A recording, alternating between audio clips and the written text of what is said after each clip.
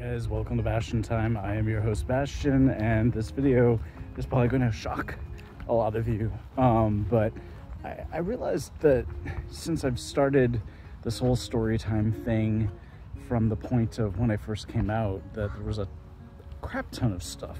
I almost swore there, and you can't swear in the first minute in a YouTube video. Anyways, there was a crap ton of stuff that happened way before that that might have been of some interest. So I thought I'd go ahead and talk a little bit about some of those things in between storytime videos. And one of those things is, well, this carried on for years and years and years actually, but it started in middle school, and that is that I was a vegetarian. Um, I had been a vegetarian from eighth grade and all the way up through, geez, five years ago, maybe slightly longer actually. But um, basically, I met a friend in eighth grade named Audra. I have not kept in contact with her, so I don't think she knows, you know, what a big impact she had had on my life. But, anyways, um, she was raised vegetarian which I have kind of mixed feelings about. Like, when she told me some of the stories about, like, basically never being able to eat meat, she talked about it in the kind of way that I feel like a lot of religious people who were are raised in like specific religions talk about that kind of thing where it's like well why would i want to? You know? And then she would spew like this dogma at me about vegetarianism. And at the time i was not really affected by that in a way that I thought was negative. Like I didn't think like, oh, poor girl, you know, she's raised with these fundamentalist vegetarian beliefs. I was just like, huh, that's different. Now that I'm old and cynical, I uh, I do definitely think that maybe it's not best to raise your children vegetarian, but and just kind of let them pick for themselves what it is that they want to do. Um, but in any case, I, I, at the time I didn't really think about it like that. All I thought was, wait, there's a thing where people don't eat meats and that's just already a thing. Well, sign me up because I really can't stand the taste of most meat, and that remains true to this day. I, I really can't.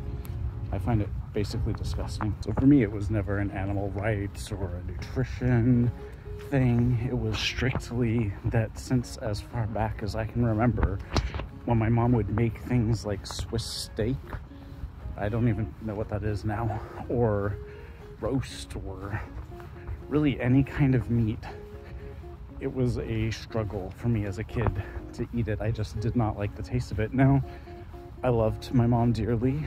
Loved past tense. I still love her, but she's she's passed away now. But um maybe evidence points to the fact that she might not have been the best cook. um, she was a great baker, lots of delicious baked goods, but maybe her cooking skills were not such that, uh, for instance, I remember not really liking chicken much as a kid, and yet now I love chicken, and we will get to, to that eventually, but maybe some of these other meats I just didn't like the taste of because I didn't like the way she she cooked it. But um, I just hated meats. Like I would eat everything on my plate just fine except mushrooms. I have always hated and still dislike mushrooms. But uh, the meat I just could not eat. So basically, what would happen every night is she would set a timer for an hour, and if I did not finish my dinner before that hour was up, then I would get a spanking. And every night, because I did not want to eat that meat that was on the plate, I would get a spanking. Um, so, and that includes fish, that includes everything. I just could not stand most meat. The only meat that I did like when I was a kid was pepperoni on pizza, beef jerky, pepperoni sticks, and um, spicy, like taco flavored beef. And that was about it. Um, so anyways, when I was in eighth grade in middle school and I found out that vegetarianism was a thing, I was like, oh, can I be one of those, please? And again, it had nothing to do with animal rights or or nutrition or anything, even though at this point in time I was starting to think a little bit about nutrition. I was noticing that all of my older relatives were obese and maybe I wanted to avoid that, but I didn't really have a great concept of nutrition at that point in time. Um, so, anyways, I talked to my mom about it, and surprisingly, she didn't put up much of a fight. All she said is, like, look, I'm not going to make you a completely separate dinner. I'm going to make the dinner. If you don't want to eat the meat that's in that dinner, I'm not making you any kind of substitute or anything. And because I had a terrible concept of proper nutrition at that point in time, I was like, that sounds fine to me. I'll just eat the mashed potatoes and the, you know, cheese sandwiches or whatever. Like, I, I don't need any meat substitute anyway. It worked out just fine, surprisingly. I thought she would put up much more of a fight, um, but she didn't, and, and that was fine with me. Now, things got a little trickier once uh, you stop eating meat for a while, then you start taking on some of the other concepts through osmosis. Um, so while it was not originally about animal rights, when I would learn factoids about, you know, basically like pigs being having brains that are very similar to dogs, um, and cows too have brains that are pretty similar to dogs. Then that started sort of seeping into my brain um, a bit. And so while it was never about animal rights, some animal rights stuff did kind of like find their way into my brain a little bit.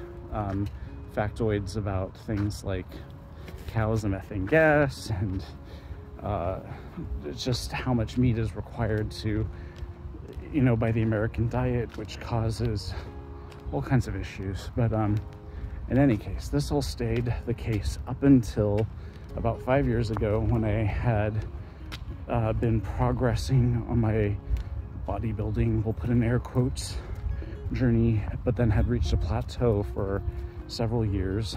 And my bodybuilding friend Brendan was like, look, dude, you just need to start eating meat, at least chicken, or else, you know, you're not going to get anywhere. And so I did. And uh, I, once I discovered, once I forced myself to start eating some chicken, I was like, oh my gosh, this stuff is actually really good. What the hell have I been doing for all these years? Um, so now I love chicken and I can't even imagine not eating it. And even eating chicken sometimes when I'll watch a video of like cute little chicks, chicks meaning little chickens, not girls. um, it's a little tricky in my brain.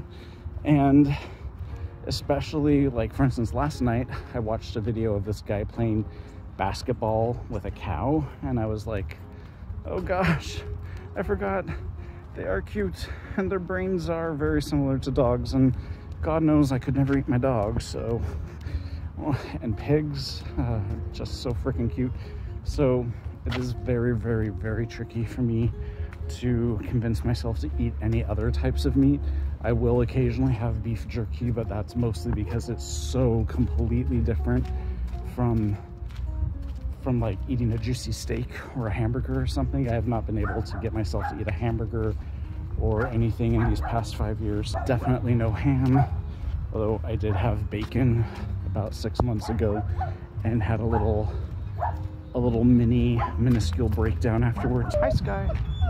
Are you saying hi to Sky?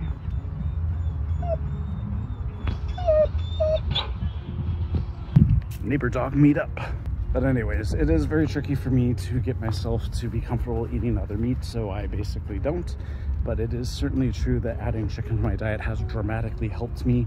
It's not necessarily like that vegetarian protein can't get you Jack. It's mostly that the sheer amount of vegan or vegetarian protein you'd have to consume would be next to impossible to eat all of that to get the same amount of grams of protein that you would from something like chicken. It's about the, the quantity of the item and the density of the protein in that item. If I had a gigantic stomach that could fit enough of the vegetarian or vegan food, uh, then it'd be fine. The density of the protein in the chicken makes it so much easier.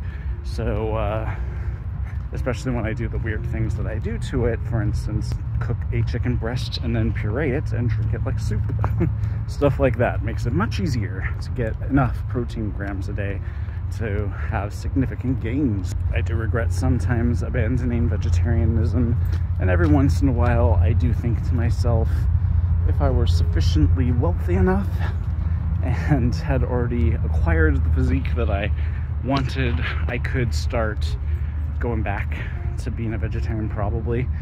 And then I would have less uh, mental gymnastics to do um, when I eat chicken. Anyways, that's it for this video. See you guys in the next one. Bye, guys.